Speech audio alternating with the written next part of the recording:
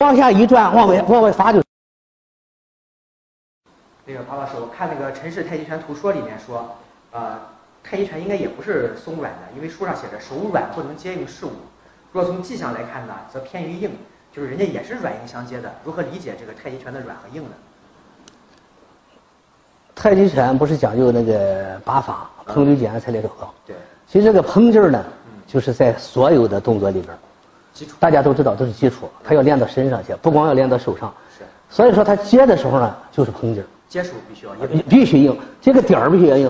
你你你你他你接哎，你接不了。所以为什么平劲平劲一接，这个碰劲接住对方。对，然后一滚。哎，碰劲然后滚动转动，缠法。我就站不住了。所以哎，所以说就是缠法就出来了。是。所以说一接这个点儿，这个点儿如果没碰劲儿，人家心来了，你也转不了。对。所以说碰劲一接，对，接着就接着就转换一下，你对方用的力量越大，对，你走的自己自己走的越远。对对对，这是左右的转动。哎，这哎，你你。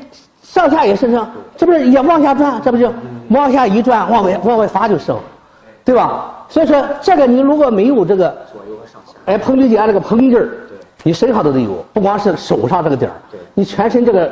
框架结构出来，为什么要站桩？老师，你你你你这个往下压这个劲儿不用大，我顶一顶是吧？这缠绕的，这是缠绕的，这是哦，这是缠绕的。哎，这哎身，咱站桩的时候不是要塌塌这边？哎，这不是？哎，你看你这这个劲儿，对，往后，你看正好你要你你你很难受，起，他就走了。对对。所以刚开始，哎，不是顶劲儿，哎不是这个劲儿，你压的是这个劲儿。对，我一压你，我不和不是和你比较力气，对对对，我不会不会一直把把你。这一一变，你看你往上抬就走了。所以说这这这个棚劲儿，这个一必须要说熟了，就是有个硬点。是。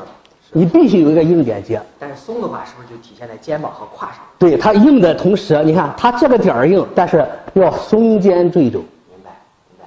是吧？腰哎腰腰胯。对。松肩坠肘，你看一压。是是。你如果腰也软了，你不挺，对，你也发不出去对方。哦，明白。但是瞬间一挂，接着就起。嗯嗯。所以说这个大家一定要正确理解这个软和硬，关键是把这个平时这个彭举言这个碰劲儿练在身上。这么这么说，这个叫什么搂西奥步，这样一横拧了，这这打一掌这个劲儿挺大的，啊，一横拧，他一掌，哎，他一挂就就上了，对吧？你八卦掌里边正好轰一下。哎，这个这个用法呢，这个咱们主要是讲现在缠绕。是。嗯，讲这个用法呢，现在不能不能使。你这个要打到这儿，这一拖也受不了。对所以说这些东西呢，还是锻炼，还是先把这个这个这个这个文化，这练到身上，先把这个太极拳的这个这个劲儿尽力要练到身上。用很简单。明白。好的。加微信庞洪国的拼音，获取太极拳公益教学。